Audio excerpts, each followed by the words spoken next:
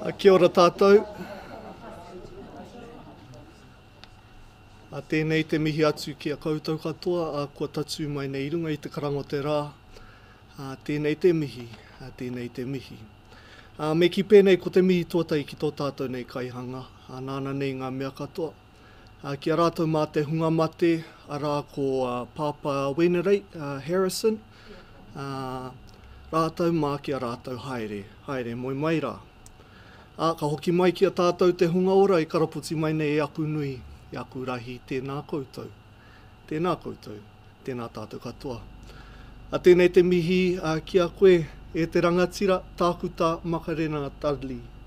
A, ko hara mai no tāmaki makaurau, a, tēnei te mihi. A, ko hara mai ki wainga i a mātou, a, ki te kōrero e pāna ki tēnei. A, kaupapa, a, tino whaitake mo tātou te iwi Māori, o tira a mo tātou ngā tāngata katoa. No reira, kei te mihi. Kei te mihi ki a kōrua, ko haramai no ahi te reiria, uh, Jerome, uh, Dania. Tēnei te mihi ki a kōrua hoki. Um, o tira ki a koutou katoa, uh, tēnā koutou. Good evening. Um, I, I acknowledged... Oh, haramai, haramai. I start off my kōrero through acknowledging uh, our Heavenly Father, acknowledging those who have passed on, in particular our Wenerei Rex Harrison, who laid at Kariaka and Ruatoria in, in the Ngāti Porou territory. Um, and then I brought it back to us uh, who have joined here today. Um, Dr. Makarena Dudley, who's joined us from Tāmaki Makaurau. Um, it's great to have you here uh, Makarena, and also our two guests from Australia, um, Jerome and Dania. I hope I pronounced that correctly, Dania. Um, but to everyone who has come from near and afar, welcome. We also have uh, Fano. I picked up from the airport at uh, 2.30 uh, from the uh, uh, bioengineering, uh, Auckland Bioengineering um, Institute there. Welcome, welcome back to Gisborne. Um, yeah, koutou katoa, uh, tēnā koutou. Uh, on that note, I'll start us off with a karakia. Uh, kia ino i tātou. Hei mua koe i a mātou i hua, hei tohutohi a mātou mahi katoa. Ko koe anō hoki hei whakakaha i a mātou kia whai kuroria ai koe i a mātou mahi katoa.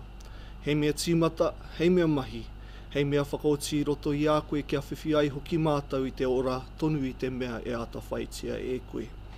Kroria ki tō ingoa tapu, a mine. E tō mātau matua nui te rangi, kia tapu tō ingoa, kia tae mai tau rangatiratanga, kia me te tau e pai ai ki runga ki te whenua, kia rite anō ki tō te rangi. Ho mai kia mātau ai anei he taro mo mātau mo tēnei rā, murua o mātau hara, me mātou hoki e muru nei i o te hunga e harana ki a mātou.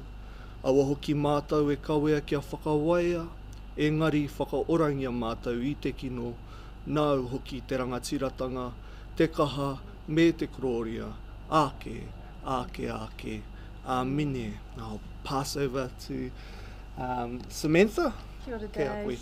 Um, tēnā koutou katoa ko Samantha Holsworth Tuku Ingoa, no Te Raka Hau, uh, no reira tēnā koutou katoa. Thank you so much for coming. Um, it's wonderful to see a wonderful Tairāwhiti community here, uh, as well as our guests and um, uh, from, from Auckland.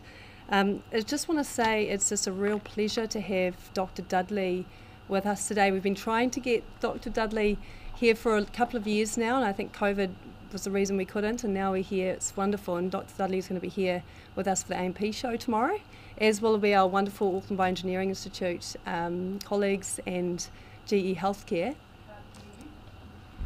How about now? I don't think this is working. I'll speak up. Um, so I just want to mention that. Um, so Dr. Dudley's work is a really wonderful example of medical research that we at Matai are just very excited about supporting and celebrating. Um, Dr. Dudley is a real role model in clinical psychology who's contributed significantly to Aotearoa New Zealand to the Aotearoa New Zealand community around the detection, the understanding and the education in mate wareware and dementia. Um, just a little more about uh, Dr. Dudley's bio. So she teaches cultural competence and uh, coordinate cultural input in the doctoral program in the clinical psychology uh, program at University of Auckland. Uh, she teaches neuropsychology at, um, at the undergraduate level, and she's interested in cognition and the ageing brain. And her current research is, is investigating mati that is dementia, in Māori, and she's leading a very large team of researchers and clinicians in the development of a Māori friendly tool for detecting mati. Uh, she's involved in the adapt- adaptation of the cognitive therapy program for Māori, and she's leading the ongoing project and the development of an app that provides information to whānau about um, wareware, and, that, and there's information right there uh, in the pamphlet. So um, I just want to really talk about more about about Dr. Dudley you know, a lot of her work we feel, from our point of view, is really, really reflected in Mātai's name actually. Mātai's name is, and Whakatauki, is Te Mātai Mātai Hura, which, is, which means the investigating, investigative revealing eye. And, you know, the, the story, the Mātai Mātai story, commemorates that, the story based on um, this, the Whakatauki and the logo and the, that was gifted by Mark Kopua, who's one of our local cultural artists of Tairāwhiti. And, and the story that Mark Kopua gifted to us relates to a, meaning, a meeting between the tohunga Te Kau Takitaki and Reverend Williams, who encouraged, um, Te Ho encouraged Reverend Williams to look into the puna, that is the pond, to, in which knowledge is reflecting back. And so when we understand what we're seeing, what's reflecting back at us, we can come to terms with it and, and enhance the depth of discovery um, and then we can move forward. And that kind of, when I see the work that Dr. Dudley's doing, that kind of really reminds me of the story that, that um, the wonderful Mark Kopua gifted to us that's reflected in our name. So really excited to, to uh, welcome you, Dr. Dudley, and um, welcome also to GE Healthcare. And I'm going to introduce Jerome and Dinesh separately uh, with their buyers uh, after Dr. Dudley's talk. Which so Jerome and Dinesh start, talk starts at 5:30. So welcome again. Thanks, Dr. Dudley.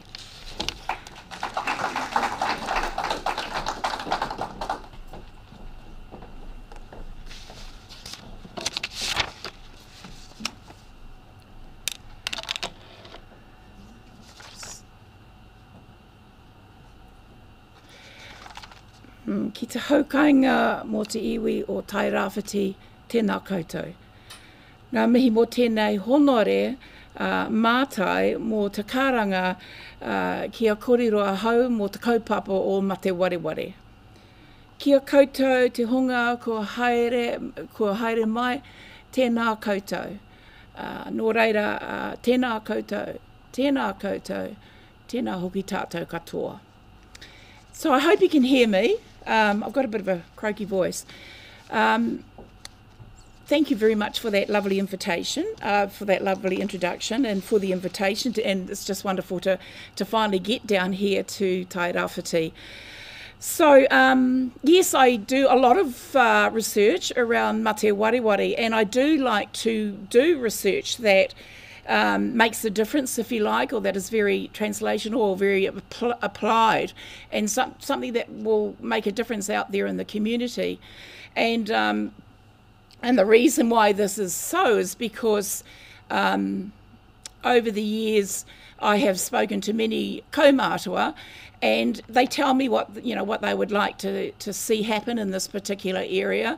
And I carry their stories with me and I feel like I have a responsibility and my team have a responsibility to deliver to deliver the requests from them to uh, uh, to provide them with information to get out there to uh, develop a tool that more that uh, more accurately diagnoses uh, mate wareware and Māori. And so um, it's it's a, certainly a professional journey journey, but it's also a very personal journey.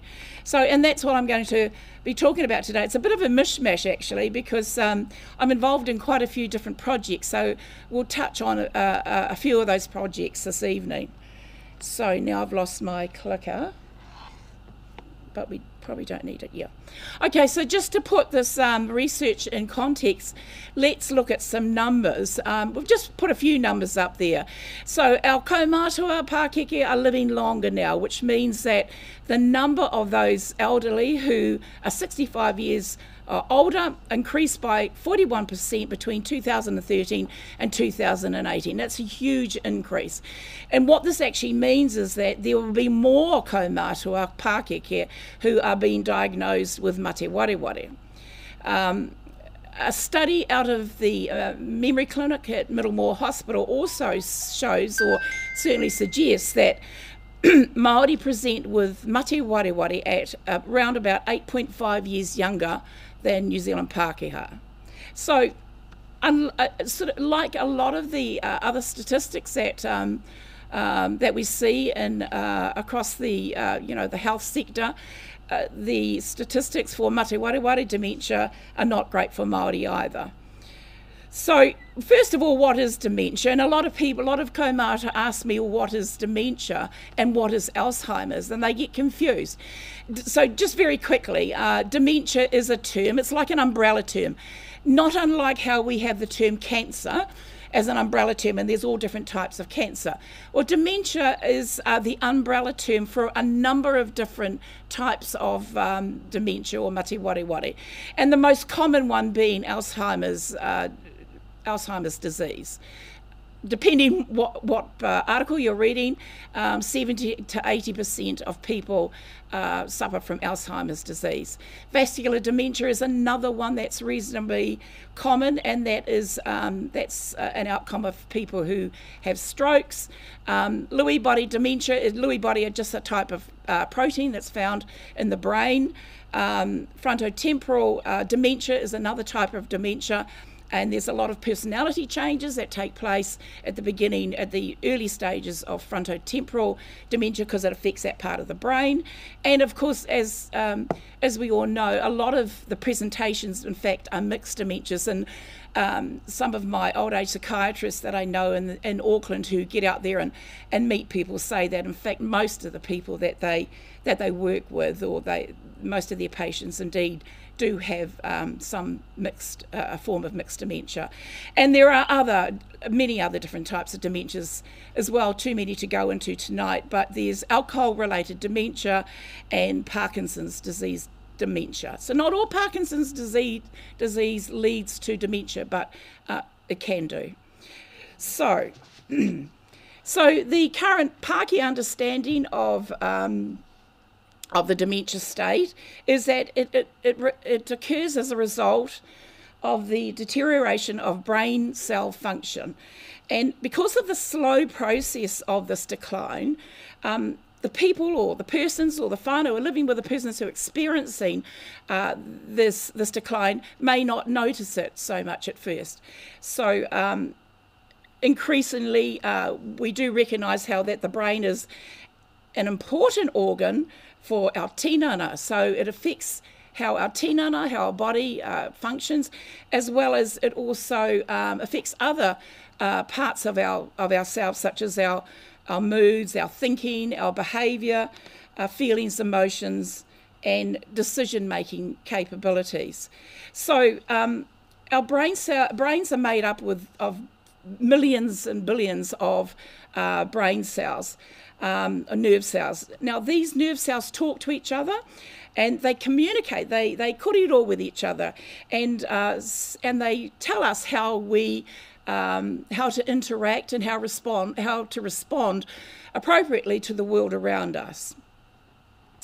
During mate wareware, um, these cells lose the ability to communicate with each other, and eventually they die. And you can see in this um, in this shot here in the slide here, the, the right hand side is uh, obviously has shrunken in, uh, considerably, and you can see the language area and the memory area of the brain. Uh, has, has shrunken considerably, and that's where the early signs of uh, or the early symptoms of uh, wareware or dementia um, can be seen. So in 1920, um, a list of risk factors were published um, that may lead, or the 12 uh, risk factors that uh, lead to uh, lead to mate or dementia.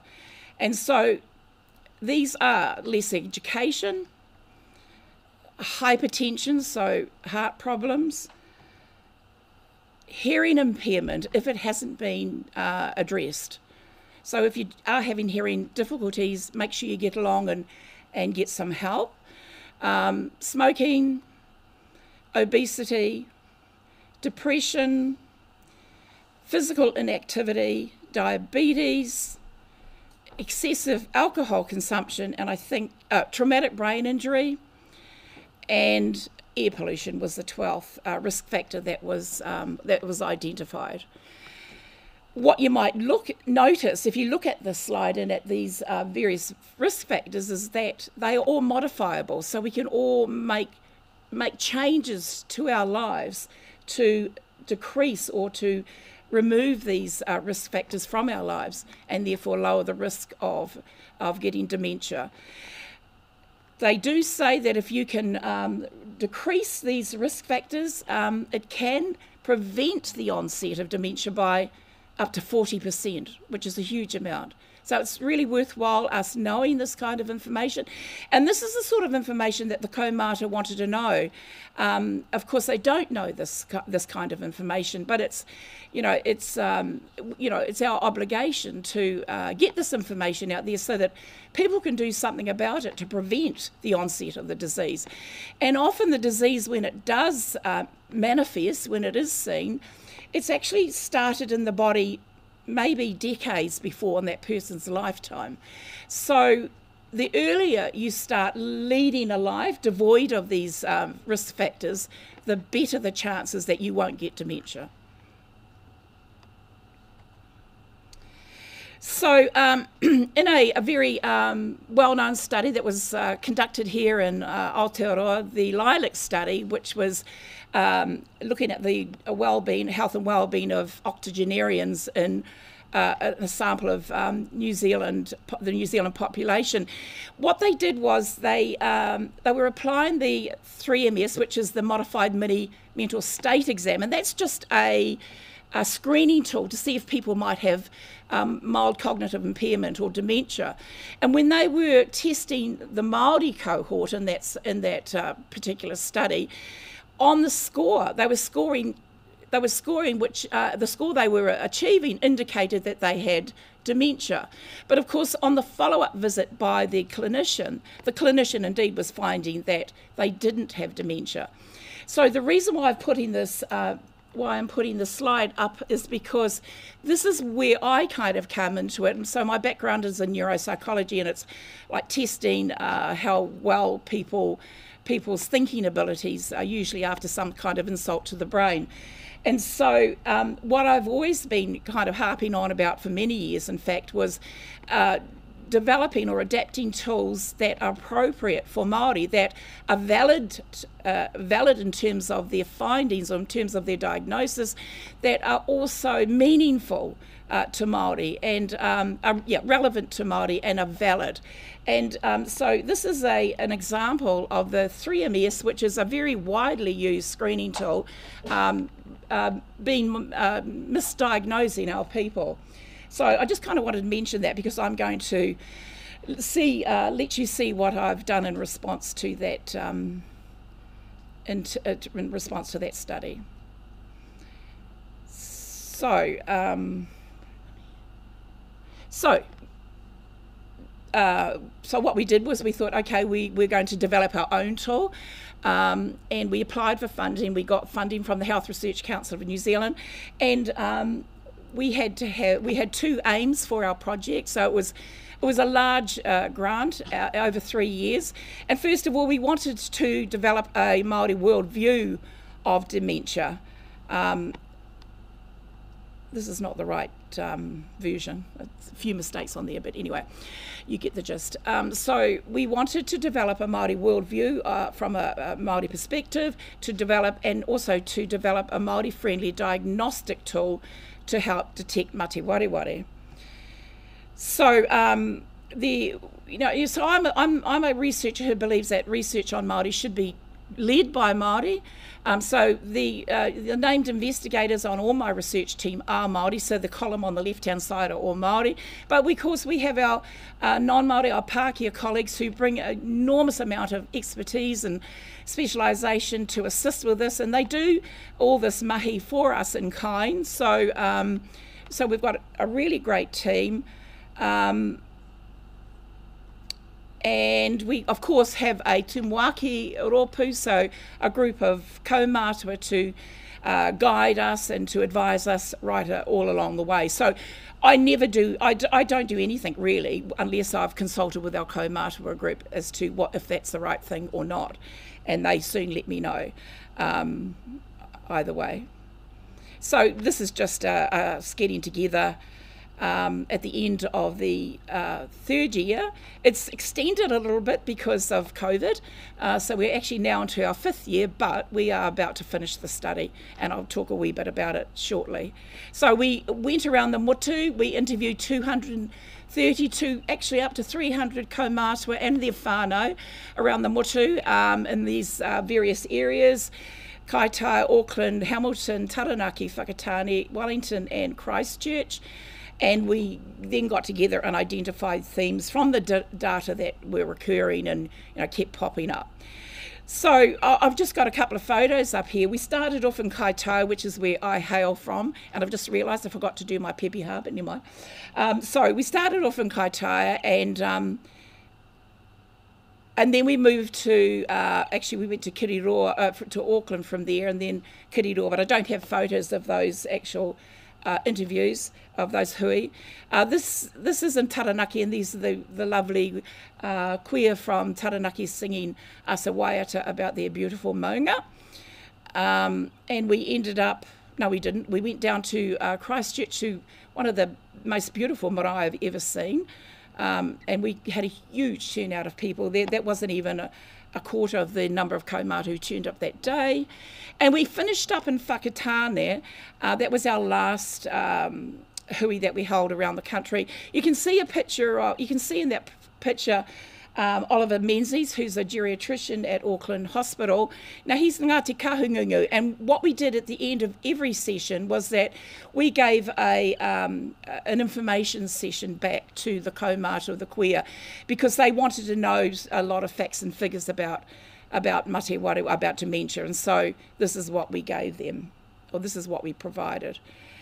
But what I really want to talk about today um, is a Māori view of mate wari which came out of the study.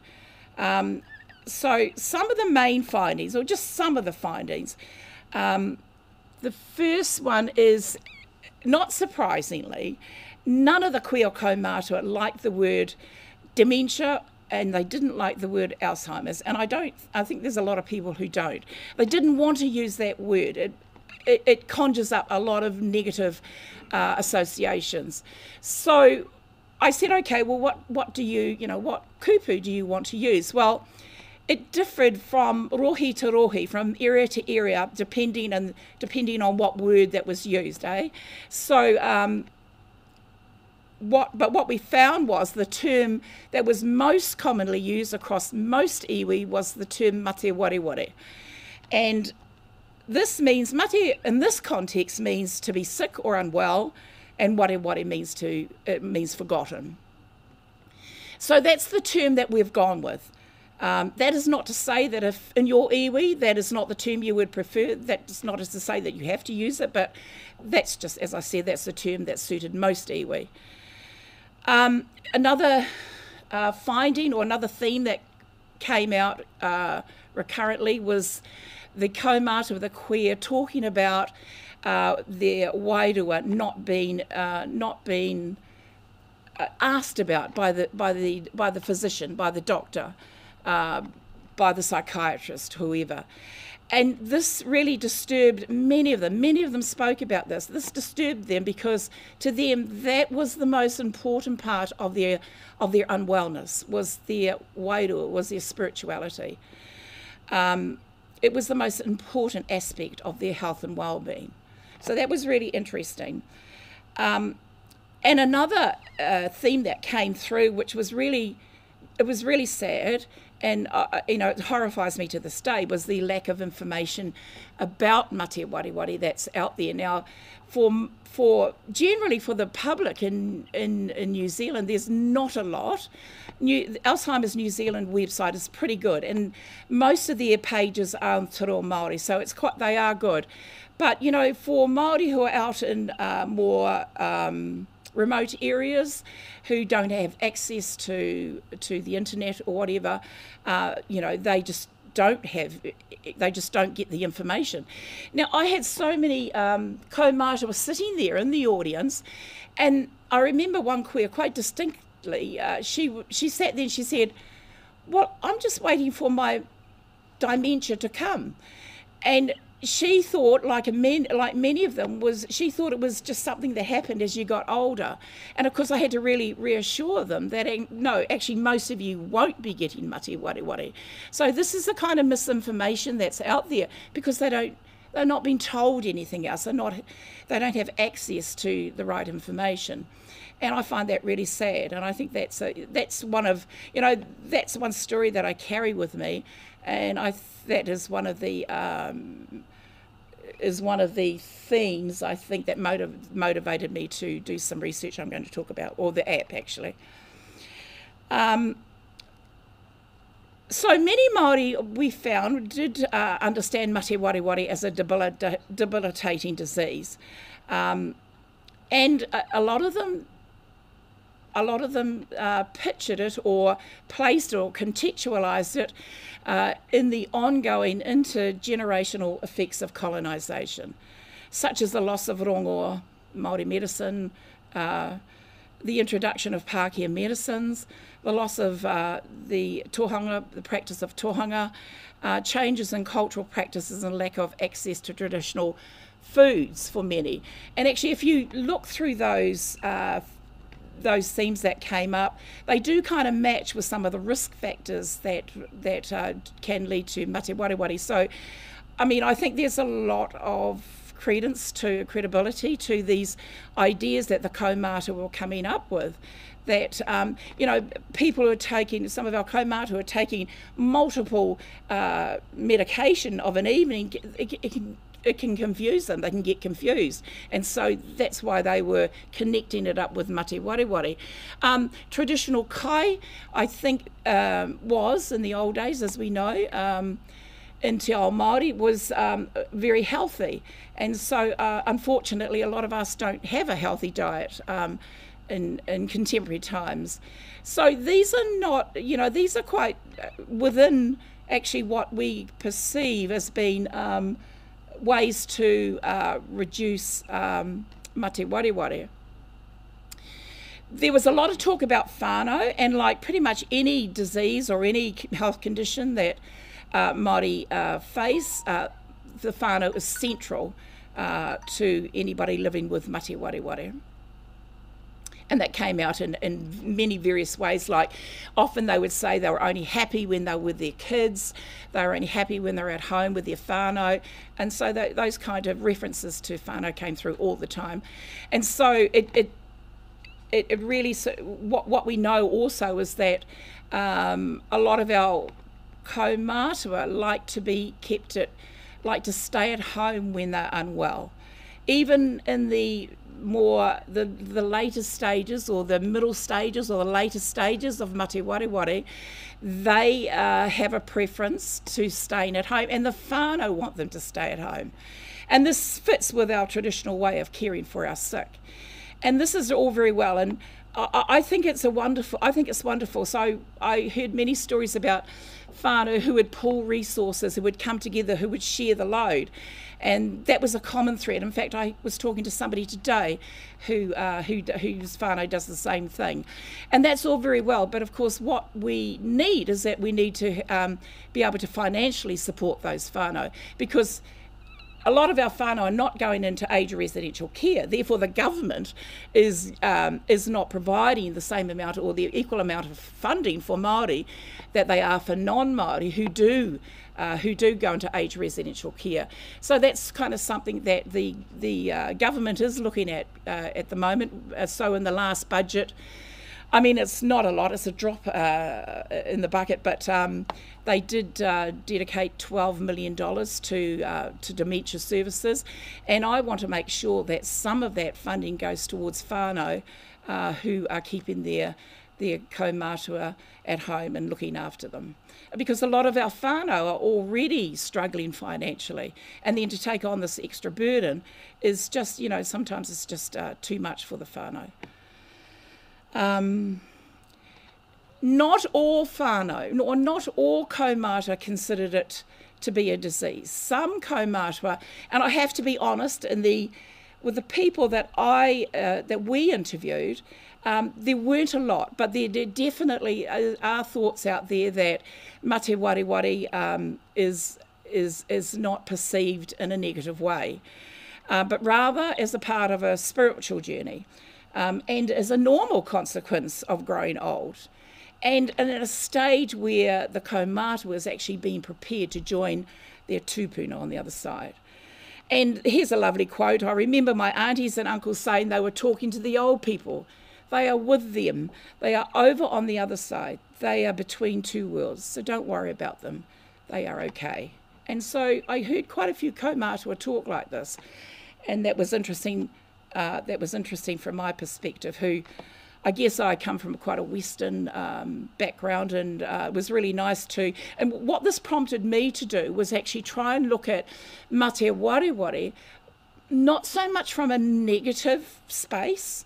So, you know, when you when when a person gets a diagnosis of mate wareware it doesn't mean the end. It doesn't mean uh, death you know, there's a lot of living that these people can still do, and there is a lot of quality of life that uh, you know that that is part of that person's and that whānau's um, existence. So um, I think it's really, I think this is great to to sort of create a space where mate is not the scary thing. It's just another illness that we deal with, and uh, we just get on with it. So. Um, I was going to present, well, I didn't get over to um, the HammondCare conference in the end because I, um, I was unwell. But um, the organisers spoke to me, and they ahead of that, and they said to me, uh, so these people in Australia, they said they just love how Māori have created our own term for dementia, Alzheimer's, and we're creating our own spaces that, it's not all negative. There are some wonderful positive things in there. And, and one of the things, of course, is when um, rangatahi, when tamariki rangatahi, when mokopuna become involved with their kaumātua, become involved in their journey. Um, so, you know, it's not all negative. And I, I, really think I'd love to be able to move forward where we can create um, a journey that is, is, is less negative, if you like.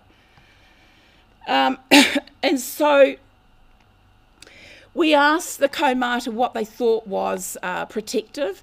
And, you know, these all make sense. So I heard a, a number of times, I heard the stories of the, kuia, she would go onto the marae. And when she was on the marae, her mate wareware, her dementia would disappear. She would just become normal. I, I heard that over and over again. So I think it's it's not about it is about being on the marae, but it, it what it what what that includes uh, being on the marae. How does that help us up for a number?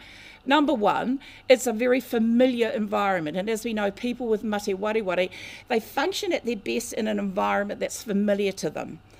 Um, it, it's an environment where they feel safe, uh, secure, and it's an environment where they probably feel a lot of aroha. It's an environment that reminds them of when they were little growing up on the marae. So going and but not only that, they go onto the marae you go onto the marae, you hear whaikōrero, you hear waiata, you hear, you smell the, the smells coming out of the kitchen. You eat the kai. It's all these wonderful memories flow. Now, this might sound a little bit hocus pocusy, but it's not, because actually what you're doing is you're scintillating those uh, neural neuronal pathways that, and activating them so that that person is actually functioning to their optimum in that time period that they're on the marae. And and once again, I would and you know it sounds like oh, somebody just make this up, but it's it's what I heard. When they left the marae, they would go back into their confused, disoriented state. So, um, you know, to me, I've always believed that Maori health, uh, Maori well-being lies. A lot of it lies within our identity, within our a positive Maori identity, and to me, this is evidence of it. Um, speaking to reo Māori, of course, a lot of the kaumātua um, were reported as reverting back to their first language, which is Te Reo Māori, that was usually strapped out of them, or they were punished when they were five years of age, when they went to school and they weren't allowed, and then they got punished for speaking the reo. So they never spoke it again. But actually, those pathways have already been formed uh, and they're there in the brain. And we know that in the brain of people who are bilingual, there's a lot of grey matter, a very dense grey matter. So we know there's a lot more activity in the brain of people who are bilingual as opposed to people who are monolingual. And so I would encourage anybody uh, to, you know, to encourage their kaumātua uh, to speak the reo to because what you're doing is you're activating those pathways again. Now, often um, people will stop, or kaumātua will stop speaking English. They might forget because that's more of a recent memory as opposed to the reo, which is a long term memory, which are the parts of the brain which um, are usually intact still. Um, so you lose your new memories uh, in those pathways before you lose the long term memories. Um, and as I said, all of these um, all of these points, Māori kai, rongoā Māori, um, being involved in activities such as rāranga poi, walking, singing, waiata karakia, all of those are, uh, all you're doing is activating the brain. And one of the most important things about being on the marae, uh, and one of the risk factors, which, um, which confirms one of the risk factors is that people are being socially interactive. And we know when you're being socially interactive, you are utilizing your brain. If you're not being socially uh, interactive, then you're not using your brain so much. So, in that sense, the brain is quite a bit like a, a muscle in that you either you, you use it or you lose it.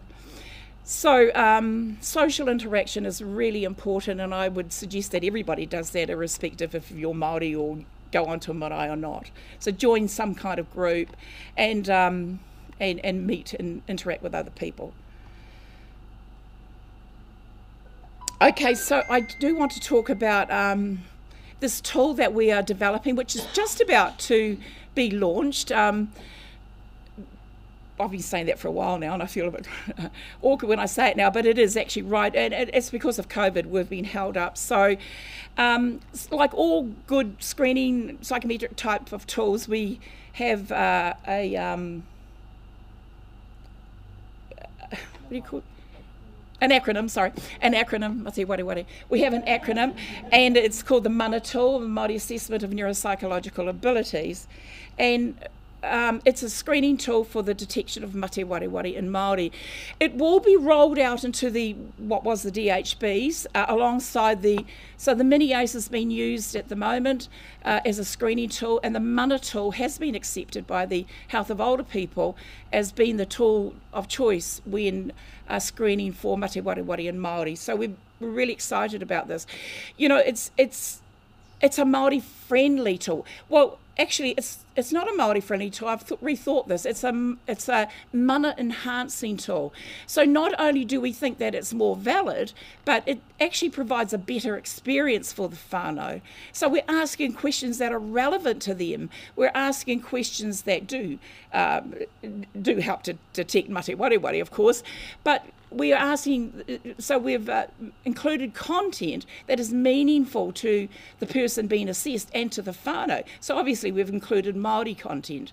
And we've never had this in, in Aotearoa before. I've been administering uh, cognitive tests for 20 years now, and the number of Māori are sitting on the other side of the table from me, looking at me like I'm something from another planet because I'm asking all these questions of them that don't mean anything, that are not relevant to them, and in fact are invalid in many cases. So it's also a very mana enhancing tool. And what makes our tool uh, different from any other tool, I think, in, in the world is that we have included a Wairua component, and this is um, sort of harking back to the reason why uh, I raised the, the bit about the kaumātua wanting their Wairua sort of uh, talked about or included in the assessment. So the Wairua component is, is just that. We ask questions about uh, their wairua. It's not a part of the actual diagnosis, uh, so it's not scored. Um, there's a functional um, tool and there's a cognitive tool, as is in any other uh, assessment tool uh, that's used worldwide. And so um, this is kind of what it looks like, and we looked at the different things that we thought might be uh, mana enhancing, wairua enhancing for kaumātua, and we've asked them questions along those lines. And we've consulted widely with kaumātua right throughout the country, not just those in Auckland. So when we got the first draft of the tool ready, we brought a whole lot of kaumātua up to uh, up to Tāmaki Makaurau and got them to have a look at it and run through it and uh, discuss it widely. And one one uh, woman came to me and she said, "Well, my mum passed away of mate wareware." She said, "But if I, she had had this too, if they'd used this tool to assess her, she said I would have been so happy." Um, so yeah, so. Um, so that's the function, the Wairua component. the functional component is pretty much like uh, all the other uh, functional tools that uh, that are widely used, not only in Aotearoa but also around the world, and they cover all the domains that a uh, a person who diagnoses would look for uh, in terms of whether or not that person is functioning okay in their everyday life. Um, so you might just see on there, I don't know how clear it is, but we've also kind of inserted a little bit of a lesson in te reo as well. And this is because a lot of the kaumātua said to us, well, it's really, you know, we hate hearing our language, our reo, uh, pronounced badly. And so, and even though, you know, people try, we have quite a few um, recent um, people who have recently immigrated to this country in that particular era doing those kinds of assessments. So we thought, well, we'll just add in a little. Um, uh, a reo class in there, if you like. And so, where there is a Maori kupu, we've put the phonetic uh, pronunciation afterwards so that they can have some attempt at pronouncing our kupu uh, correctly. And that's like music to our ears, uh, to Maori. We love hearing our, our reos uh, pronounced properly. Um, and so the, the, cognitive assessment was the, the, big part. We've done quite a lot of work on it.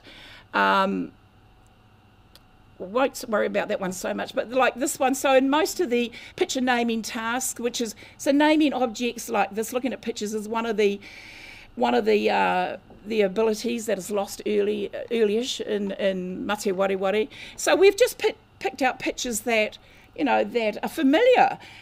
Okay, just familiar and what it does is what we are seeing is people are looking at it and thinking, ah, this is about me, you know, this is about Māori. It's not about looking, identifying an elephant or a rhinoceros or whatever, which is what is usually depicted.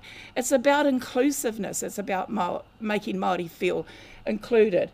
And, um, and also we, we, we've played a lot around, uh, we've put a lot of attention to the scoring criteria because in past tests. So we've found that, for example, in one of the widely used tests in the world, people get asked, "What is? Uh, tell me what uh, domestic the word domestic means."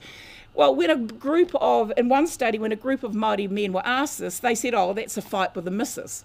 Oh, that's an argument with the missus. That's that, That's what they said. Another. This is in the vocabulary subtest. Um, of the ways forward, so widely used test around the world. Then they were asked, what does terminate mean? And they, oh, well, that's to kill somebody, this kind of thing. So those guys were, um, and they were men, um, they were marked wrong. And so they didn't get scored right. But the reality is they're not wrong. In their world, they're right. So it's the manual that's wrong. It's the scoring criteria that's wrong. So we've We've uh, put a lot of time and effort uh, into the scoring criteria so that everything that is right is indeed acknowledged as being right. So it's in these kind of subtle ways that, that there is bias in these types of tests. So we, we know that education is a major factor in any kind of uh, psychometric testing. So we wanted to try and eliminate that. There's not a lot you can do in a very uh, relatively short test. So in this uh, particular test, we ask uh, the person to spell the word kai. Um, if they can't spell it, then there's a bit of an assumption going on. What we all say is we'll move on to another test because we think then it's possible, and this is what was overlooked in the Lilac study, is that they didn't consider uh, the the education that those kaumātua didn't get. So some kaumātua never went to school. Some kaumātua may as well not have gone to school, uh, given their experience with school back in those days. So we are assuming if you can't spell the word kai, then maybe you don't have, you know, you haven't learnt to spell. So what we do then was we kind of abort that task and we move on to a, the next task, 12b, which is about repeating numbers, which is less uh, education, uh, which is less dependent on a person's formal education. So we're attempting to address the, those issues that um, that do impact impact um, performance and um, uh, those issues that that uh, make the tool culturally biased. Um, and there's also a whole lot of um, questions that the um, that the geriatric or the old age psychiatrist or the clinician can ask about um, the history, and everything, of course, is in thrill. Um, so we're going to be, we'll just go back. We're going to be launching the mate, uh, the mana tool very soon and it will be there will be um, a video that will accompany it so that non Māori clinicians, who are most people who diagnose mate wareware in this country, can follow a, a, a, video where the client wants to speak reo. Okay, so there will be, uh, in that video, there will be a, a Pākehā clinician, uh, a, a, person in, in the room as well who's interpreting what's been said, and the, the client who was speaking in the reo. So that will be available as well. And of course, all written forms are available in both, both languages. So I don't know how I'm going for time, but um, and now we'll just move on to um, the app. So once again, going back to those three major findings, the kaumātua were crying out for information. Um, yeah, I carry those. I can. It kind of haunts me a little bit when I hear those stories because I was so affected by it. So you know, we just said we've got to do something about it. So we got a little bit of funding.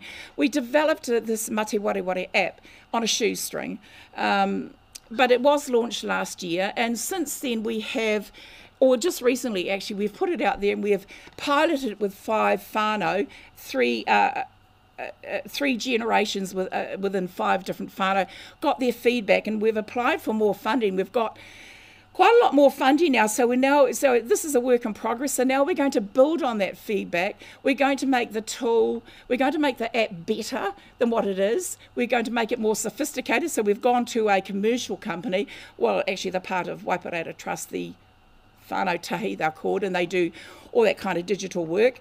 Um, and so they're going to make it really uh, just much more uh, user friendly. Uh, we're going to be focusing on rangatahi so that they can be showing their nanny or their koro how to use the app, how to access it. Um, we're going to have a lot more for caretakers in there, and we're going to have a lot more of rongoā uh, Māori in there as well. So um, that's kind of what it looks like up here. That's when you can see the purple and there's these cards over there, that's what it looks like on your phone. I've got it on my phone. So um, we decided what when we were planning it, we thought, of course, we've got to have karakia. It's got to open with karakia. So our kaumātua at the time, who has passed away sadly, um, recorded this ko, this karakia, and I'll play it. It's only a minute long. I shouldn't say only, but it's a minute long. So just, um, I think we'll play it.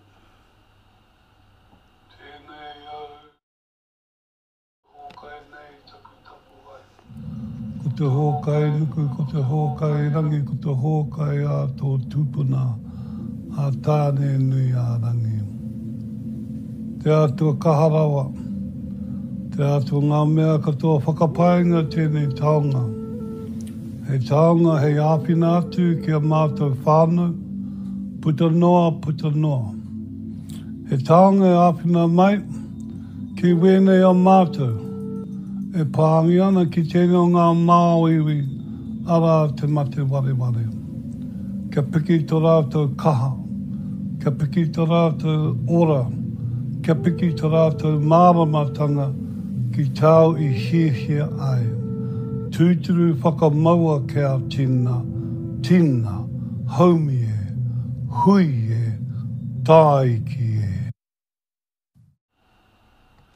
So each time a person accesses the app, they can bypass that bit of it's something that we, we knew that we had to have there. Um, the app is full of pages of information on what is Mate Wareware, as this one depicts. Um, we've taken away a lot of the medical jargon uh, and tried to make it as uh, user friendly. Um, as possible, but we've got since got feedback feedback that it can be made even more user friendly. So we will be working on that. So we've got uh, people. So Dame uh, Naida Glavish who is introducing the the app. So we've got short videos throughout. Um, we've got this is uh, um, Oliver Menzies who is talking about definition of mate wareware, what happens when mate wareware is diagnosed.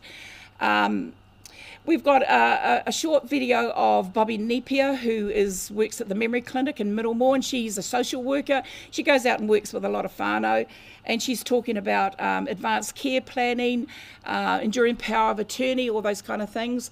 And uh, then we have Dr. Waiora Port, who was just who is our who is our kuia and is uh, sort of afied our, our rangahau all the way through.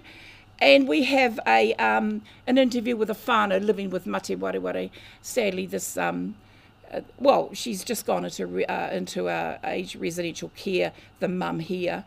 And um, this, uh, so there's lots of links in the, in, the, in the app as well. There are links to um, Alzheimer's New Zealand, there are links to um, advanced care planning. I'm not sure about a EPOA, but anyway, there's a link here. Uh, so this is a this a program, the Attitude program, aired on uh, TV One a couple of years ago now, and it tells the journey of this. It's a lovely story um, of this whānau going through that um, Mate Wareware journey.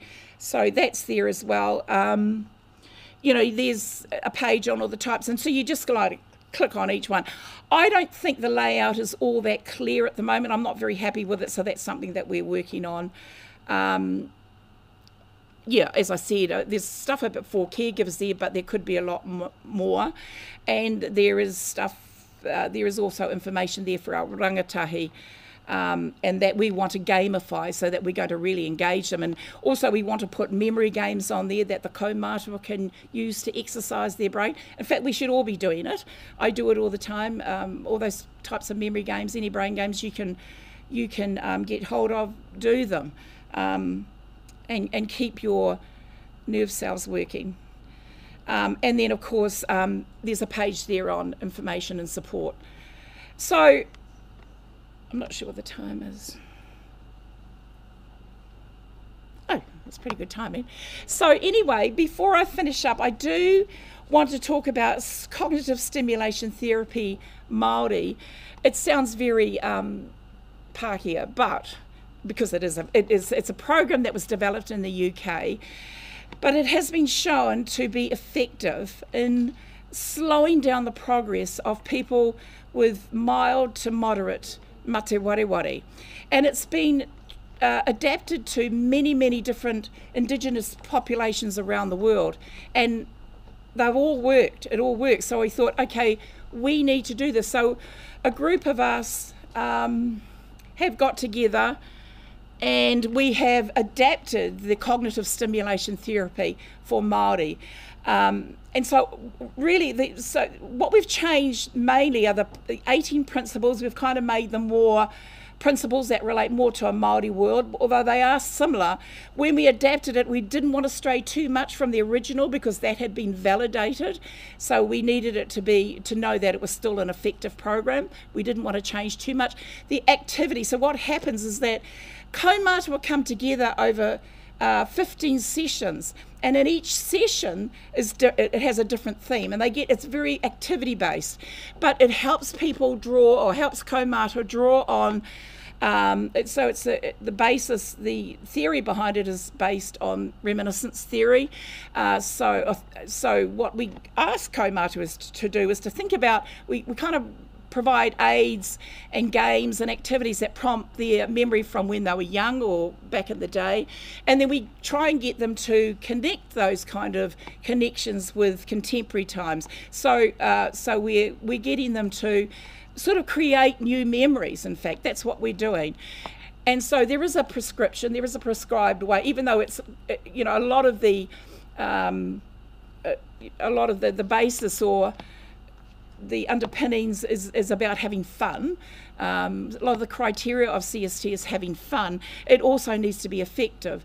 So, um, so we've got some. So for I'll just give you one example, and there's a lot of flexibility in it. So one of the sessions is about food, and so the facilitators can bring along pictures of food, pictures of food that we used to eat, pictures of food that we eat now, you know, groceries that we might buy now. But people can also bring along, actually bring along food and talk about it, and, and the facilitators create a discussion around that around that kai. Um, so um, it's it's a lot of fun. It's it's very activity based. We uh, we are saying that the so there are two facilitators for CST Māori. The main facilitator must speak the reo because you're working with kaumātua and they will want to speak the reo, many of them will, but by doing so, what you're doing is triggering those old, those old, that sort of second pathway, that cognitive reserve, if you like, that they have in terms of that first language that they acquired. So the first facilitator should uh, be able to speak the reo, and the second facilitator, mm, not so so important, but should have a sprinkling of the reo. Uh, and so we're about to launch that as well. That's been quite a long process, and we piloted it down in Whakatāne, and uh, that went was really we we applied some pre and post measures, and that came across very successfully. So uh, showed a, you know that it was effective as well. Now um, I would like to bring that program to uh, to Tairāwhiti next year. So we uh, Alzheimer's New Zealand have funded. Um, us to take the program to five areas around the Motu. Um, and one of the areas I'd like to bring it to is to Tairāwhiti. And, um, and what, what we will do is we'll train people to become facilitators in the CST program, and then they can go away and, and, and run the programs in their own uh, NGOs or whatever, or their own um, hapu or, or marae or whatever. So that's just something I'd like to. And if anybody is interested, uh, in being a um, learning to be a trainer, then you can contact us on those email addresses.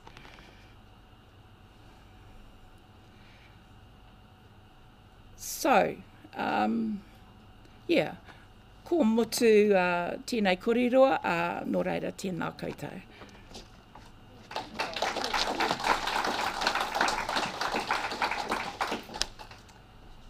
Ngā mihi, Dr. Dudley. Just want to thank Dr. Dudley for her really, your really enlightening talk on Mate Wharewhare. Um, the stories of yours and other people's journeys um, really have really help us with the understanding and help to demystify uh, Mate Wareware and also um, make it by making that information more accessible. So yeah, I just, for me, it was just nice to hear these sort of how you're talking with people with your kaumātua and their holistic, inclusive approach can drive our research. This is a great lesson for us at Mātai. Um, can drive our research and discoveries and our understanding that can help directly feed back into into uh, into our community. So it's a wonderful example, and so thank you um, for for coming, Dr. You're most welcome. And um, I just want to mention that. Uh, I was actually thinking we might just want to have a quick five minute break and, and where we can um, just have a little break.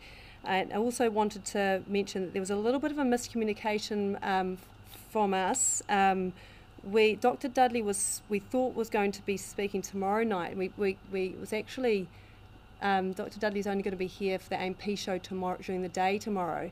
So if anyone knows of anyone thinking they're coming to the Elgin Turanga Health uh, hui, can you please let them know that it's Dr. Dudley? Unfortunately, it was our fault.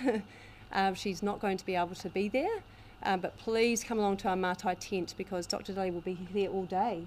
Um, so please definitely come and come and come and chat um, in person with Dr. Dudley tomorrow at the Mātai tent, rain or shine. so, um, but before, is there any questions? Um, any questions for Dr. Dudley? Pressing questions? I just found it a little bit difficult. My husband's Māori. Yes. He's 74, so I don't Yes. know whether you class him as an old kaumata Oh, or anything like that. yeah. He's not been brought up. um, Yeah. in- In the Māori world. like, Yeah. Yeah, that it's That's okay. one of the This is- Well, it might be, you know, it might, it might not. It's not for everybody, and there are a lot of people like that, you know. But who knows? It might trigger trigger some memories. He may have spoken. Did he ever speak the when he when he was a wee? No. No. Well, I didn't either, and I'm kind of around that age area bracket. But um, so it may not be for him. No, I, Yeah, yeah. He, he But- won't, he won't mix with, you know, you said I'd be neat if I could just get him to go places, but he, he won't mix with He mo- won't mix with anybody. Yeah, that's a shame. Yeah. Maybe it's not for him. Yeah, I but just thought like. yeah, yeah, yeah. No, but yeah. Thanks. I've got a question around the brain games. Yes. Oh, you, is there anything you recommend it for, for those who are wanting to do something at home that you do you have any favourite brain games? Well, look, you know, And crosswords. Um, you know the games, any memory games. The game where you um, have a pack of pack of cards and you find the pairs. Uh, they're, they're great. They're easy. Anybody can do it. Getting your the you know getting the person who you're with. Um, to read a, a small passage in a, in, a, in a newspaper and then getting them to relay that, talk to you, tell them about that, that particular item in their words, in their own words. That's another way of them holding, storing memories, storing information, uh, rearranging it so you know that they've really attended to it. They've put it into some kind of storage in their memory in their memory bank and they are relaying it back to you. That's another good, easy one you can do across the breakfast table with your, with a, with a newspaper sort of thing. But like any any games that are that are easily accessible, especially on um, on our phones these days, definitely encourage your you know everybody to do them. Really, yeah. Kia ora. Tēnā koe, uh, kia ora. Um, You had twelve risk factors, uh, and I wondered if there was a difference between men and women and the incidence of risks. Well, well, women um, do present more with mate wari but that's probably because there are more women living longer. I think that's probably. I, I don't know proportionately. I don't know. Do you know? No. Um, the trouble is with like in New Zealand, we haven't had a prevalence study. Oh, Uh, so we don't really know. A lot, a lot of what we know is we, it's kind of been um, it's based on data that's been conducted overseas on other Indigenous people. Having said that, we were fortunate once again. A team of us have been fortunate enough to be uh, granted quite a substantial amount of funding to conduct a Mate Wari prevalence study in Aotearoa on Maori. So we've actually started. We're doing all the you know admin stuff, and we will be hitting the road early next year. And once again, we might come to Tairāwhiti to to conduct a prevalence study. That will be the first, uh, to my knowledge, um, Indigenous uh, Mate Wareware uh, uh, prevalence study in the world. And of course, you know. I feel a bit uh, slightly uncomfortable with Australian visitors here, but Ma- Māori lead the way uh, on many different aspects of research in Māori health. We know that. And so um, this is another area which we kind of like trailblazing a little bit, yeah. Tēnā koe. Um, I just have a question on the age thing. You said it was octogenarians. Yeah. Um, so anything younger, because our whanaunga is just become just 60. Yeah, yeah, yeah. So, you know, like is, you know, I was just talking that that particular study was on that. on uh, eighty year olds and older, but yes, like uh, we suspect, just anecdotally, we know that, and, and that little bit of um, information that's come out of Middlemore that uh, we may be younger um, when when we get our mate wareware, uh, sadly, uh, but um, we will see. Um, really, uh, the, the prevalence study we are doing is uh, we're capturing 65 years of age and older, but really I think we should be looking at 55 years of age and older. But of course, then you get so many more people that to get that kind of funding in New Zealand just do, it doesn't exist. So we're just going to do the best that we can. And it's, you know, um, I had a, a friend, uh, she's a senior OT in Rotorua, and she said to me, she goes to Turangi a lot. She said, I swear, she said, every second kaumātua there has got mate wareware. And, she's, and, I, and she said, oh, but they're not, they haven't been diagnosed. But I said, well, why? And she said, because they won't go to the hospital. They don't, they're too whakama. And the services are not accommodating our kuia and kaumata. They'd rather just not know about it and just carry on. Yeah. Not good. Yeah. There was, oh, there was one here first. Oh. Um. I'm Cheryl Morley. I work with um, Alzheimer's Gisborne. Oh, yeah. I've been in my role eight years and I have been to many assessments with whānau where their loved one is going to be put through a MoCA or the mini ACE. Yeah. And thank goodness your your new assessment tools coming out. I've seen those people destroyed with because they they're, they're irrelevant, particularly for males using those animals. Some of the questions asked, they they're not taking in constant, you know, in consideration of when a couple have been together for a long time. Often the wife does speak for the man, Mm. and Mhm. it's just soul destroying to see It what is. it's what it is doing, and it's set up to fail. Yeah. Yeah. And these people walk away Yeah. shattered. Yeah. So that is a great, huge tool for, and gives my heart joy to see that. Oh, So thank you. Thank you. And we've, uh, you know, words got around that it is coming. We, I get inundated with emails from people all over, from every, every like all sort of sectors of society, wanting to know when it's going to be ready. So we've really got our skates on now and um, trying to get it a, out ASAP. Can I just have one more? And Yeah, anyone sure. else, um, please come along to the tent tomorrow. Um, got one here. Kia ora. Hiya. Kia ora whai. I have an issue with one of my sisters being angry. Mm. The anger stuff that's coming through is kind of Yeah. Yeah. not very good. Yeah. So um, would this help her? Well, this is one of the areas I want to address. I don't think we've got enough information there for for caregivers, because people with mate wareware who who uh, exhibit anger, sometimes it's frustration, sometimes it's fear, but their ability to demonstrate or exhibit that fear or frustration, anxiety, they no longer have. Those pathways have disappeared in their brain. So they it may manifest as anger, but that's not actually what they're feeling. It's not always the case, but it's sometimes the case. So caregivers need to know this sort of information and sadly it's lacking in that sort of but that's something I definitely want to address and because there was a statistic ca- that came out that said that more caregivers die than people with mati wari wari. Yeah.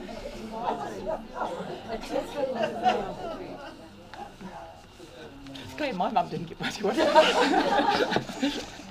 No, Oh, well, thank you, Ngā mihi, Dr. Dudley. Good, thank you. So thank you again. Right, just, we might just have a very short break just while we set up our next speakers. So please um, get the breath of fresh air and mingle a bit.